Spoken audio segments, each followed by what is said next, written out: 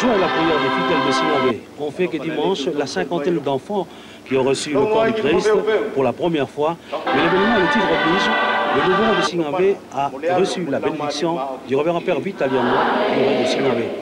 Intronisé il y a quelques jours dans la coutume, la cérémonie n'était pas tout à fait pleine dans toute sa dimension sans la bénédiction de Dieu.